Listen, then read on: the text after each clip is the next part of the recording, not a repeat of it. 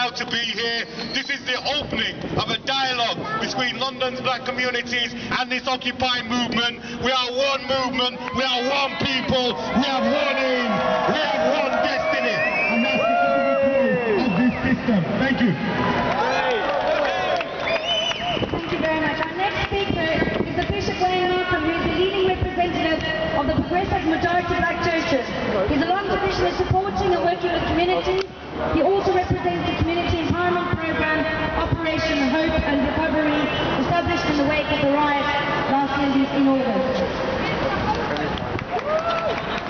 Thank you. I bring you greetings from network of progressive black churches as well as